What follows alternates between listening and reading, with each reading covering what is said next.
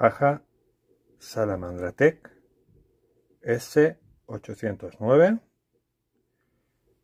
navaja muy compacta de buena calidad. Recomendadísima compañeros para todos vosotros.